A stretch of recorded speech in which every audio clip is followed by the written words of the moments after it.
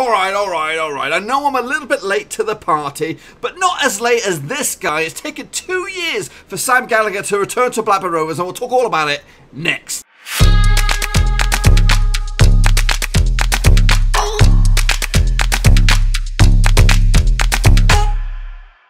That's right, folks, back once again with another video. This time we're taking a look at Sam Gallagher's Rovers return. That's right, back in the blue and white halves on a permanent deal. We'll talk about that and more in just one second. If you're new to the channel, smash your subscribe button to keep you bang up to date with all things Blackburn Rovers related, championship related, whoa, football related. We're going to all here under one roof. Now, obviously, it's been like nearly two days uh, since he signed on the dotted line. Where was I? Well, I was a little bit, a little bit too tipsy to press record, so I thought I'd wait out until uh, until the weekend went over and uh, I could compose my thoughts a little bit and, and, give you what I thought about this deal. But uh, first and foremost, we've been here before, folks. We have been here for not only has Sam Gallagher been here before, but we've signed Southampton strikers on a on a permanent deal. This will be the fourth time since the Premier League started that we've signed a, a striker from Southampton, and only one has really worked out pretty well. Uh, and we're going to take a look at those right here, right now. First and foremost, obviously, it was is the great Alan Shearer. That's right, he was uh, first and foremost a Southampton player. Then he donned the old blue and white halves, and the rest was history, folks. Um, after that, we did sign this fella, Kevin Davies. Yeah, that didn't really pan out for us, did it? Obviously, he did go into bigger, well, I would say bigger and better things, but better things. Um, obviously, playing for Bolton, eventually getting through to the England squad as well. Um, so, yeah, his time in the blue white halves was not the greatest. After him, it was another one.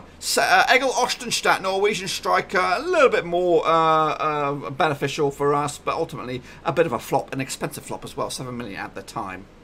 And then wrapping it up right here, right now, Sam Gallagher obviously has been in the blue and white shirts before on a loan deal, but uh, now he's ours for keeps.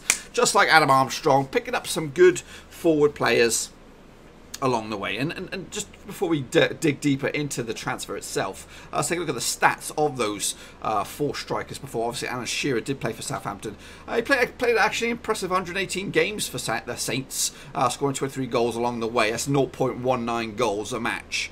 Uh, as for Rovers, though, his time at Rovers show 138 games, 112 goals, 0.81 goals a match. Not too shabby, boys and girls. Kevin Davies, though, on the flip side, 25 games for Southampton, 9 goals, 0.36 goals a game. However, his woeful, absolutely turd spell in Rovers uh, jersey. 23 games, one goal, 0.04 goals a game. Uh, that number will come. Uh, we'll, we'll, see that number again in just a second. As Egil Ostenstad comes in, uh, he played 98 games for Southampton, 29 goals, 0.29 goals a game. He also played for Rovers and scored, uh, played 62 games, scoring 19 goals. Uh, sorry, 12 goals, 0.19 goals a match. And there he is, Sam Gallagher, 22 games for Southampton, just the one goal in the Premier League, 0.04 games, 0.04 for goals a match, so very low, just like Davies at Rovers. But he has played uh, 43 games for Rovers, scoring 11 goals, 0.25 uh, goals per match. But he got that statistic right there and then with this team. This is the 2016-2017 Blackburn Rovers squad, obviously not the greatest team in the world because we got relegated with this. Um, of the boys remaining in this squad, we still have Derrick Williams knocking on the door. Charlie Mulgrew is there as well. Who else? Uh, Ryan Nyambe. Scotty Wharton is also in there as for your defenders. Uh, or slash Darragh. This is when Darragh Lenihan was, was considered a mid, uh, midfielder. Um, Corey, Corry Evans is still there. And of course, uh, Elliott Bennett, fist pumping extraordinaire, and Big DG up top. So there are still a huge core of, of that team that still remains. Obviously, we've brought in some players. A lot of that deadwood has been shifted off. The Feeneys, the Akpans, the Guthries, and the Elliott Wards, and even uh, Anthony Stokes as well. Now, this was the team that was managed by the Mongoloid, that is Owen Coyle. He got us into the shit situation, and the gaffer uh, tried to turn it around, but unfortunately, it was too little too late, and we got relegated. So, yes, this was the squad that got relegated with uh, Sam Gallagher uh, up top alongside Big DG's work, scoring 11 goals in this campaign as well. Remember that. Now, obviously, since then he's gone on to a couple of other loan spells, but ultimately it's not really worked out for him. Um, but he found he did feel part of the part of the puzzle or part of the master plan here. But he just you know we couldn't afford it. Obviously, we went down to League One. There was no way, no how he was going to come over to to swap being on the Premier League books back down to League One. So obviously, a couple of years have, have passed. He's gone on to Birmingham. Um, did he go have another loan spell in there? I'm, I'm not too sure, but ultimately we've we've been always forever linked um, with with Gallagher, and it, it, actually it's a good point to because I, I was when I when I first read tried to uh, build this video together. Um, I didn't realise that uh, that uh, Mowbray and, and, Gallagher worked together and, under this Rovers spell because I, I just completely, you know, this season as, as, shitty as it was, I completely forgot about their sort of relationship in this. So um, yeah, yeah. So so Mowbray did take on these boys, a lot of deadwood in there as well, a lot of crap. Um, which has gone on uh, to bigger, better things. But the core remains, and Gallagher will come back to join Big DG, and hopefully you know, um, when you look at the grand grand master plan, we do have a very huge uh, attacking option now, and it's a very good British option as well, which is which is nice to see. We have big bad boy Brereton, we have big DG, uh, we have Dominic Samuel coming back. We have we have Chappers who can play out wide.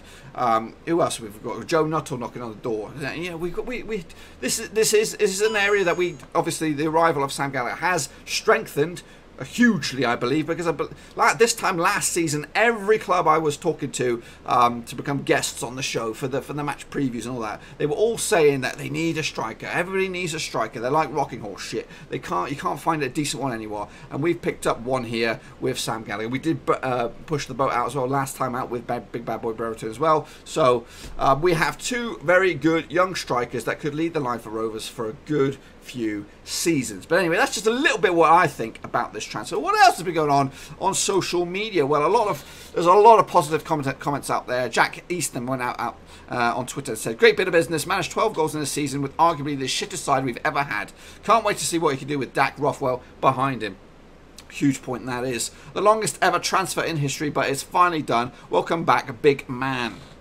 Elaine Rover 06. Welcome back, Sam. It's great to have you now permanently at Rovers. Uh, Toby put this little um, picture on there. He's put our, our, location in there and the playoffs because we're playoff bound now with Big Sam up top. Uh, Finley McKenna has said, Welcome back, Sam. Paul Rogers, happy with that. Hope you fulfill your obvious potential. Uh, meanwhile, JV72, regardless of the supposed fee, I'm very happy he's back. Very promising young lad. Right attitude, ready to settle in. Bring it on. Luke Thornley said, Welcome back, Sam. Can't wait to see you back in the blue and white halves, scoring goals again. Best of luck in your tenure here. Talis John, aka Terence Tales. Welcome back. Take us to the Premier League, Sam. Sammy B also said, Good luck, Gallagher. I hope you do well for yourself and develop well at Blackburn. He might not necessarily, from the way from the way that sounded, it didn't sound like he was a, a Rovers fan, and from his Twitter handle, looks like he's a Southampton fan. But uh, obviously, wishing his his uh, academy player well on his new journey. Welcome to the Blues, Sam. Exciting times ahead. That's from Ray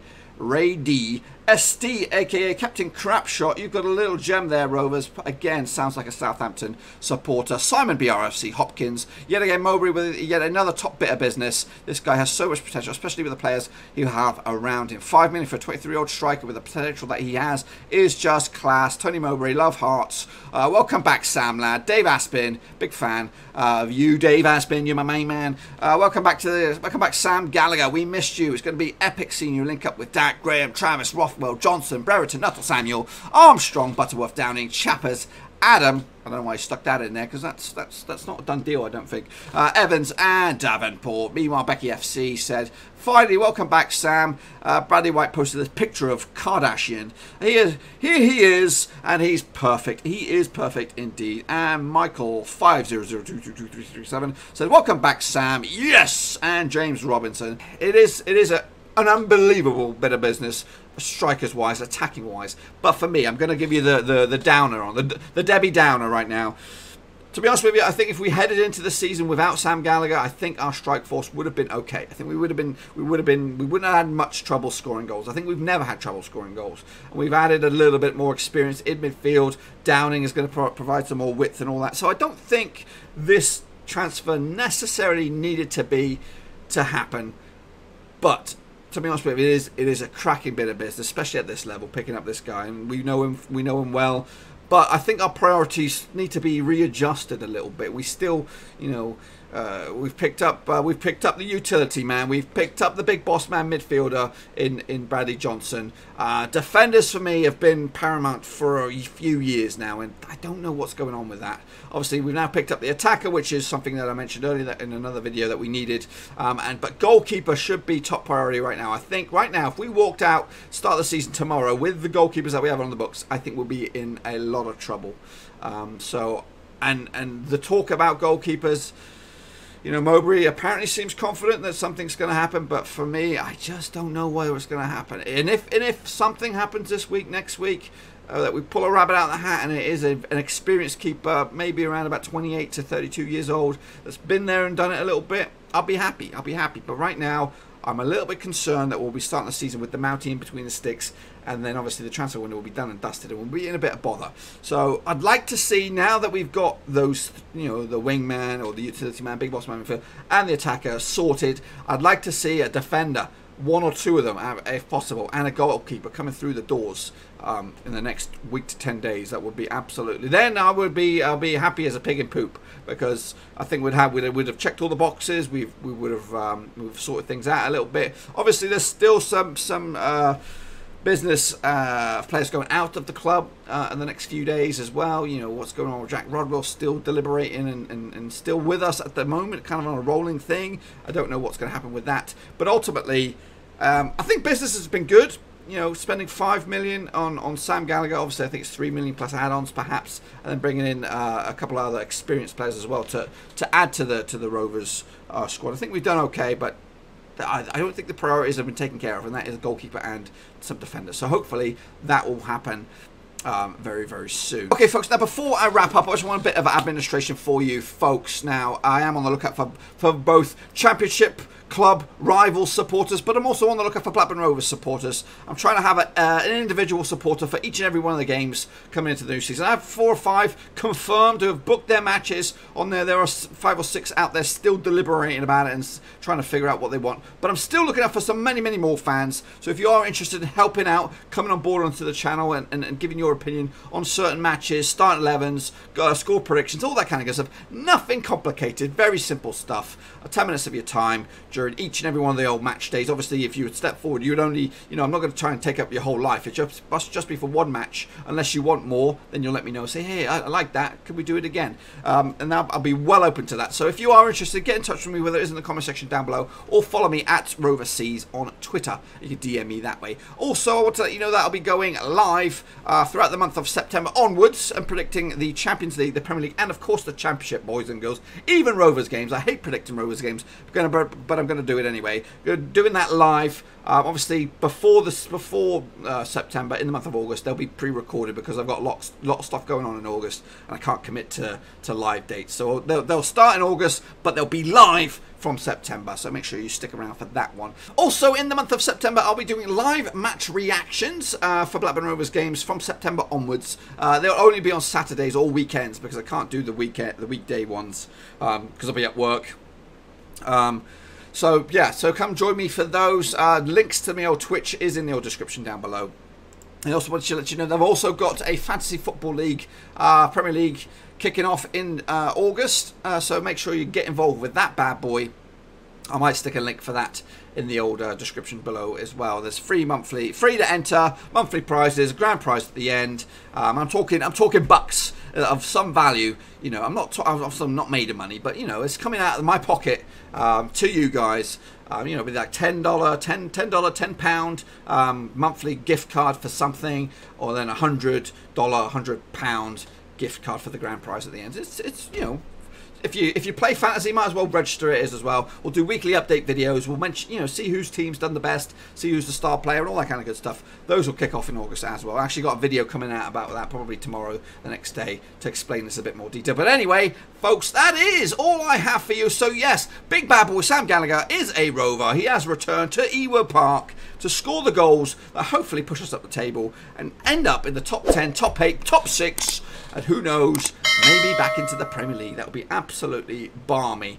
Um, yeah, and it, it's, it's quality. It's a quality signing. It's not one of these Hoboken signings that probably won't work out. He's been here in the Championship. He's had experience with it. He scored some goals for Birmingham. Obviously, Birmingham, not the greatest uh, example of a, of a club. Obviously, you know, their their kind of their standard of football it was I don't think suited uh, uh, um, Sam Gallagher. But now we have him. We have Brereton. We have options up front, folks. Obviously, DG was playing games out of his backside last season. He's an old fella. He's been around a bit. So now we have three decent striking options, and then we have some other alternatives as well with Nuttall and Dominic Samuel when he comes back as well. So we we do have a good core of attacking boys to hopefully fire us up the league. And competition, you know, breeds confidence, you know. Uh, and so, you know, if, if, if Brereton kicks off the season, scores a couple of goals, you know what? He's going to say, hang back, buddies. This star striker spot is mine. You know, he's going to he's gonna be hungry, thirsty for goals, and hopefully Gallagher will be too. Anyway, hopefully you enjoyed the video. If you did, smash the thumbs up. If you do, smash the subscribe. New videos every single day. And hopefully the next time you see me in a Rovers sort of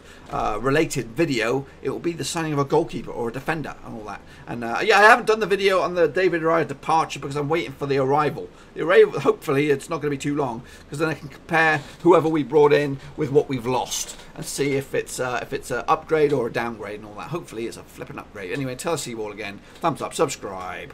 Now. Thanks again for watching. Please like, share, and most importantly, hit the subscribe button to keep you bang up to date with all things Blackburn Rovers related, Championship related, football related. We've got it all covered right under one roof. And while I still have you, please be sure to check out some of the old videos scattered along here. I hope.